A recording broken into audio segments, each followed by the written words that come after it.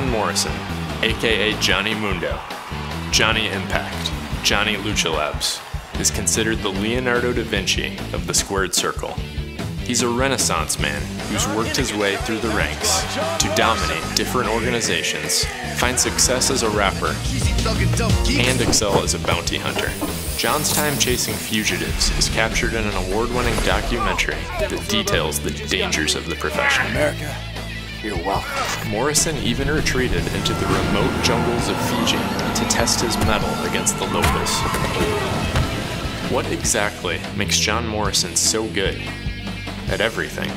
The popular hypothesis is exceptional balance, but this is only a partial explanation. Everyone has a vestibular apparatus. This structure feeds the brain information about equilibrium, spatial orientation, and motion. But not everyone can move like Morrison. Oh my God! Spanish fly. We designed an experiment to figure out why not. This is North America's most dangerous obstacle course. Built in 1972 to host the U.S. Olympic gymnastic trials, it has everything to test the limits of the human body dizzying heights, extreme jumps, unforgiving landing surfaces. Lucha Lab scientists outfitted Morrison with state of the art motion sensors to capture multiple planes of movement. His first challenge rotational motion, followed by a sudden, jarring increase in elevation that aerobically depletes the muscles. A shockwave ricochets to tax the nervous system.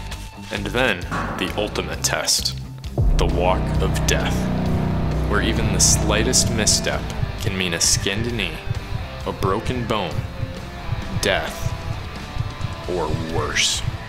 Despite all these challenges, Morrison ran the course in an astounding 22.1 seconds, smashing the previous record held by gymnastics legend Nadia Comaneci. It was obvious additional variables were necessary.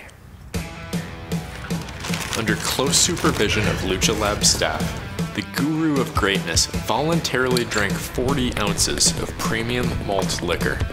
Alcohol affects how the inner ear maintains balance. It tricks the brain into thinking the body is moving much more than it really is. Finally, we further maximized disorientation. We had John spin around a fixed point, proven for decades to be the most effective technique to evoke dizziness.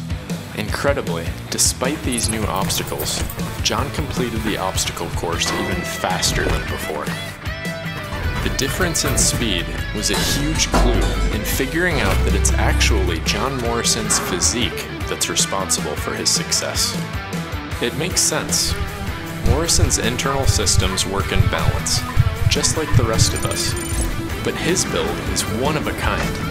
When we fully extrapolate the data, John Morrison may have the moist aerodynamic frame in the history of pro wrestling.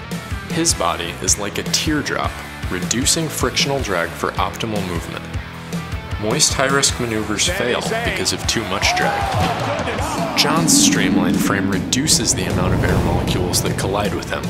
He can move in ways 99.97% of the population simply can't.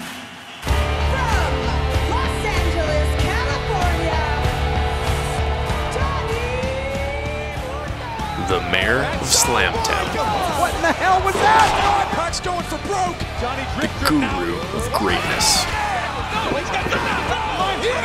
the oh, shaman of sexy. John Morrison could go by any other name, oh. and he would be just as sweet.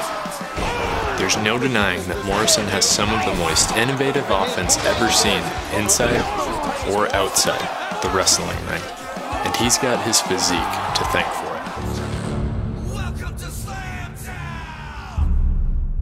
Hit the subscribe button and turn on your notifications. Otherwise, you may not know when we release a new scientific analysis. Also, please follow us on social media for a chance to win this hat. It may not protect you from airborne illnesses, but it does look cool. Details are in the description below.